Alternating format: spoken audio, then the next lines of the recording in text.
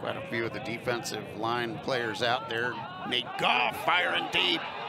But a beautiful diving play by number 23, Kyle Henke. And Austin again will go on the attack.